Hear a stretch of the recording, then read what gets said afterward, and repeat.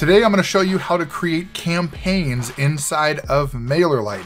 Now, if you don't know what MailerLite is, MailerLite is an email marketing platform that you can use to automate your emails out to your lists.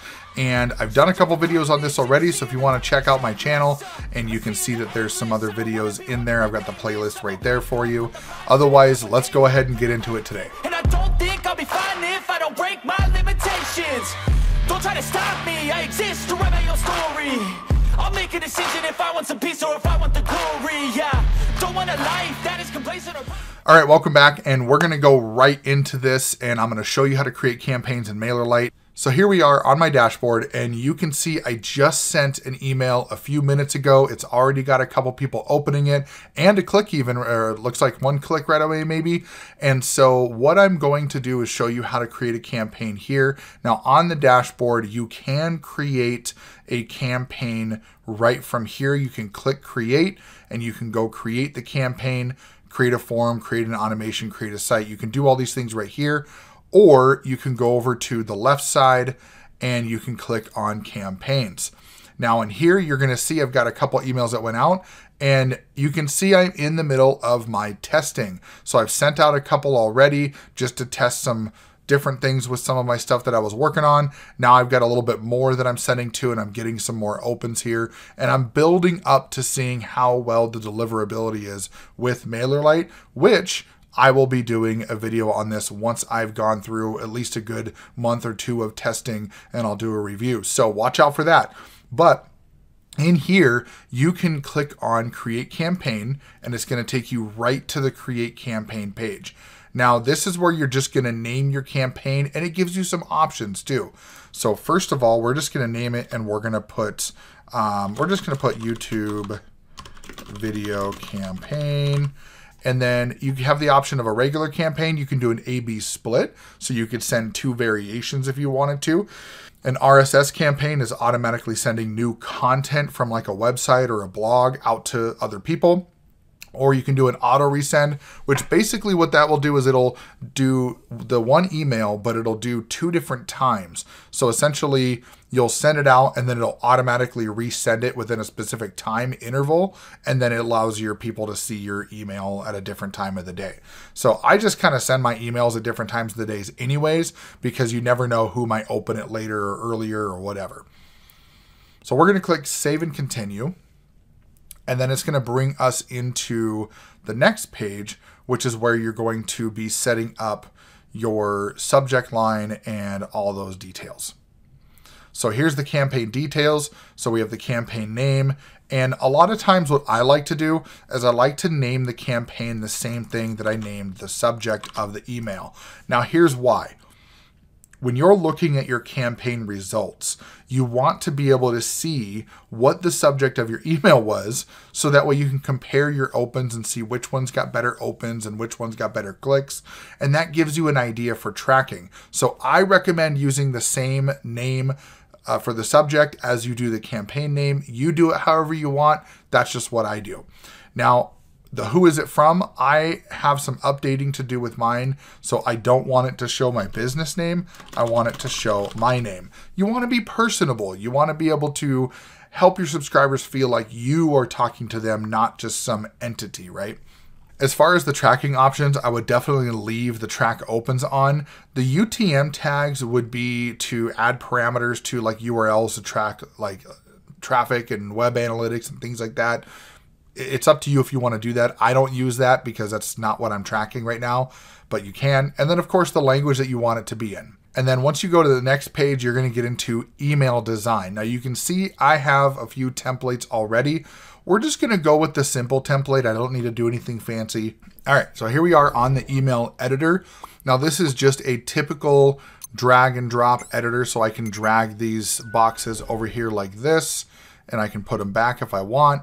I can switch the blocks over on the left side and I can check the different type, types of blocks. So if I want to click on like gallery, for example, I can have different galleries. If I wanted to click on content, that gives me like titles and text and links and images.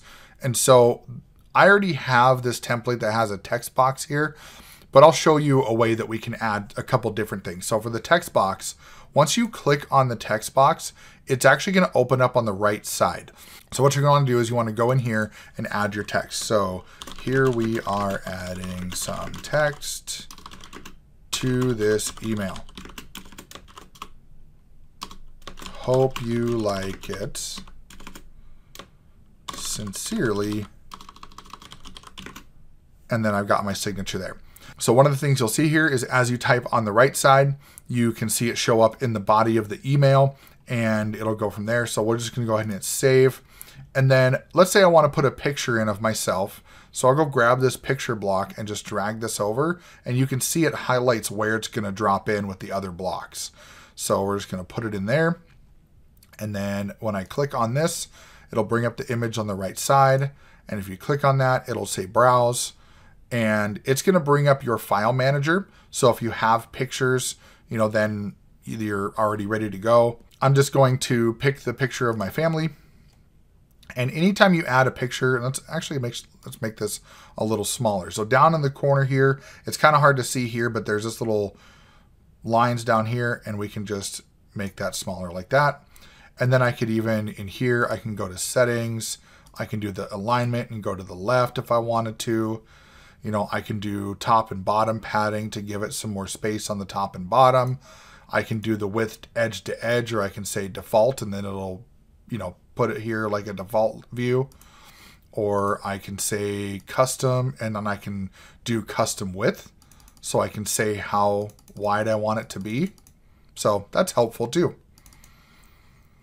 And then back on the content, I always recommend putting an alt text in your image in case it doesn't show up. So we can just say Schonert family picture, hit save. And then if you want to put a link there, you could. I'll do one. I'll put our website.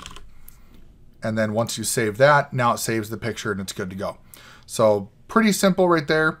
Now, when you hit done editing, one of the things that you're going to see right away is it's going to bring you back to this view here. And then it's going to ask you, where do you want to send the email? And so in this one here, you can see I've got some you know, subscribers here.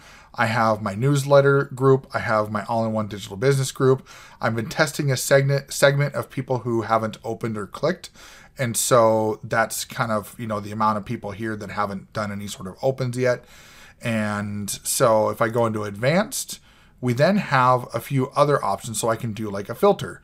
So I could say, you know, I want to send it to people who sign up source was only, you know, we'll say is, and then added manually or something like that. Or maybe wanted to use like email equals, and then, you know, we could put in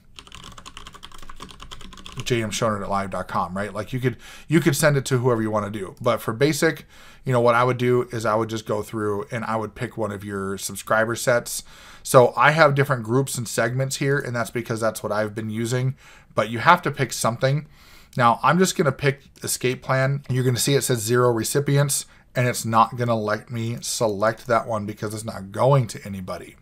So that's where I could say, okay, I'm going to go to all, you know, the all-in-one business and escape plan or uncheck escape plan, however you want to do it.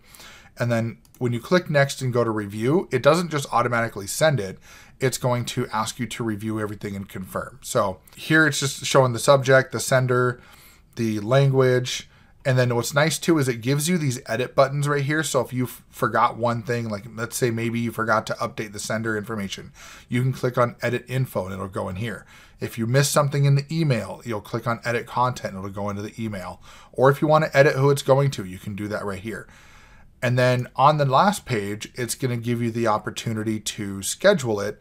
And it's going to give you options on send now, send later, or send delivery based on time zones. Now, this is a really cool feature here. And this is something that others do have as well. But I, I like the way that they do this because you can say, okay, I want to send it on, let's say on Sunday, because they said it has to be 24 hours in advance. So say we want to do it on Sunday and then we wanted to do maybe 8 a.m. in the morning. So what that means is that it's going to drop your email at 8 a.m. for wherever their location is. And that allows you to be able to get in their inboxes at the time that you set that on here. So, like if you have something that's time sensitive, or if you tell somebody, I'm going to send you an email at 7 a.m., and they're waiting for it and it doesn't show up, this is a great way to make sure that you can be accountable for that stuff. Now, I'm not going to schedule this right now because I don't want to send this out to my list. This is just for the video purposes, but you've got the gist of it. That's how you set up an email campaign. Now, there is a question on automated campaigns. Now, you can schedule these out like I showed you in there, and it'll give you the option to send later, and you can schedule it out how you want to do it.